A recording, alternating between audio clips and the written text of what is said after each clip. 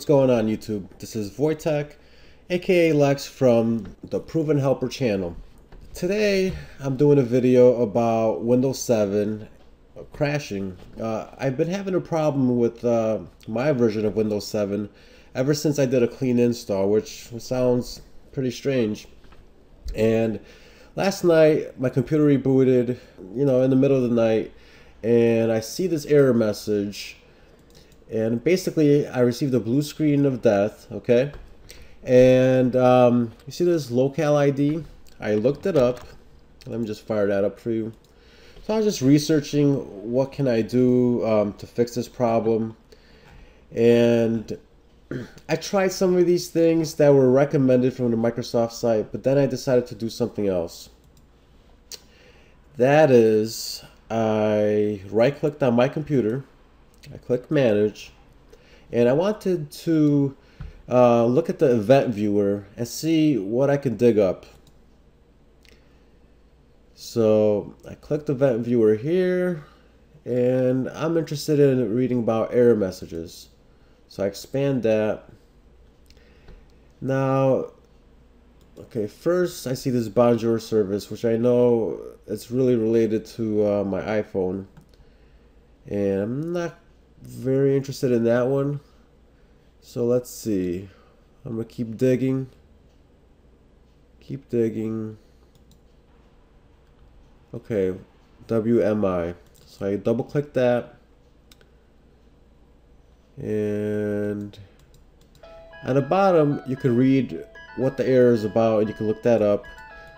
Because if you want your computer to run it quicker, I suggest you look up all these errors and do what the instructions say to fix it. But right now, I'm trying to find a particular problem. So let me find it. Okay. I think I found the location. So it's under application errors. Okay. Uh, in the past seven days, I received four errors. This this problem is ongoing and um, it's pretty annoying. I just keep getting a little messages saying, you know, Windows Explorer crashed, blah, blah, blah. Anywho, I just looked through here and I was trying to find something strange, basically. And what I keep finding is this msvcrt.dll. And right here it says faulting module, faulting application name. So see, it's related to explorer.exe, which is the thing that keeps crashing on me. And here are some of the recent crash events. So basically this thing's been crashing, I think, since I built the computer. Let me go through some of these just so I could prove to you that it's always that file. And it's always Explorer. So, okay, this actually has something else. So let's go down. Oh, okay, the next one's back to Explorer and this module and double clicking you could pull up more information.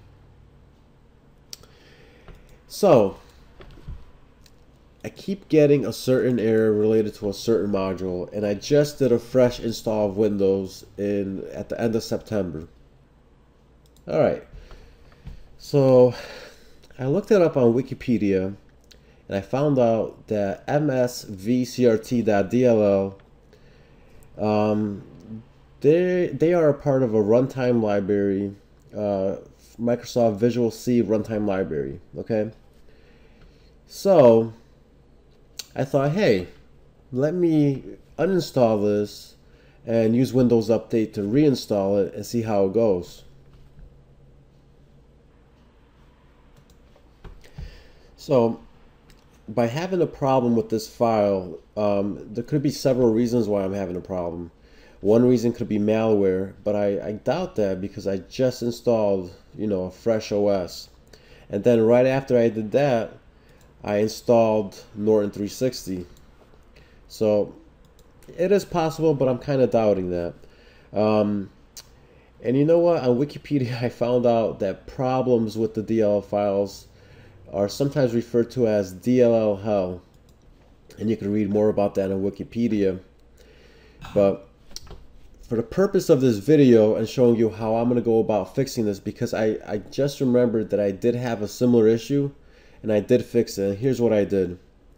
So I'm going to go to control panel, click on programs, uninstall program, okay? Here, I'm just going to type in micro. Okay. So, as you can see, there's a bunch of these files, okay? And I actually don't know which one of these is the offending file. So, what I'm going to do is I'm going to uninstall every Microsoft Visual C++.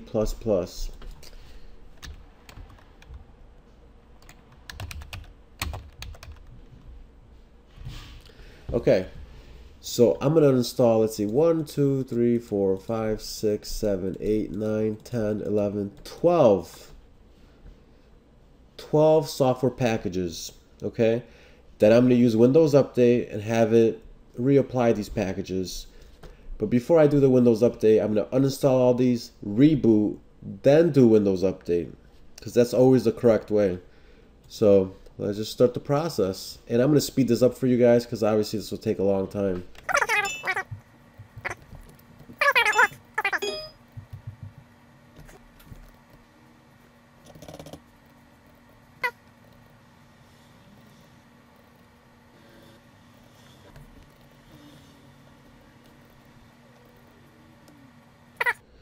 This one popped up with something different. But still, I'm just going to uninstall it. I don't want to take the chance, you know, of doing all this work and not fixing the problem. I think by uninstalling all these um, Microsoft Visual C++ applications and then reinstalling them through Windows Update is the best course of action. If I had the time to really troubleshoot this, I could keep digging, and I'm sure I'll find the answer, but you know, that does take a lot of time, so I am just trying to solve my problem as quickly as possible, which is probably what you want to do. All right, so now let me just search for C++. Okay, there's nothing there. Now, now my friends, I'm gonna have to reboot my computer and then I'm going to run a Windows update. So I was just closing down all my applications, getting ready to reboot when I noticed the little yellow exclamation point right here. So what I'm going to do is shut down so it installs updates and then shuts down the computer. So I'm going to shut down. You're not going to see this part of the video because um, obviously I can't record the screen and shut down at the same time but um, just wanted to bring that to your attention um, you definitely want this to happen. Basically I think it's going to start installing those uh, Visual C++ um, applications during the shutdown process. So let's see. So I'm just taping this with my iPhone and this is exactly what happened. As soon as I hit the shutdown button. So it just applied one kind of update. That's about it. Alright, just rebooted. Let's see what it installed.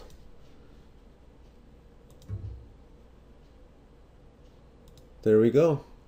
So it already installed Microsoft Visual C++ 2008 redistributable. That's a mouthful.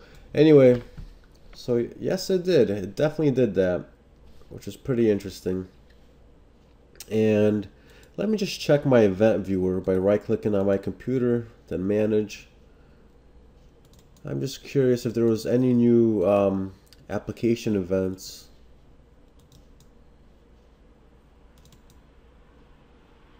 So right now it's 124. No, the last one was 10:50 in the morning. Okay. And actually that's true. I should have thought about that. It would have gave me a message that Explorer crashed. Okay. So now Now it might help if I fire up Internet Explorer because I'm going to be doing some updates. Alright, so here's a little trick with Internet Explorer. Just press your Alt key and then this menu pops up. Click on Tools, then click on Windows Update. No important updates available. Interesting. For optional. Great. So you know what I'm figuring? I think um, that this is the latest version that I actually need of this application. And for some reason, there was a conflict between, I had, I don't know, I'll say eight of them before. And I will update in the comments if the error comes back. But I remember I fixed this error before, I just never made a video for you guys.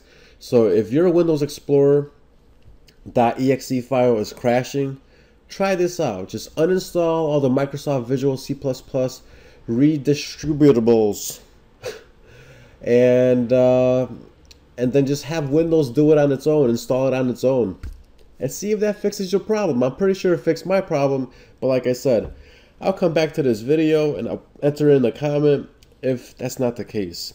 Alright guys, if you um, found this video useful, you know what to do. You gotta hit the thumbs up button. And if you're not a subscriber, you might as well subscribe because I do a lot of these very useful tips that kind of, you know, remove headaches from your life, especially with computers, cars, and cell phones. Alright guys, take care, take it easy.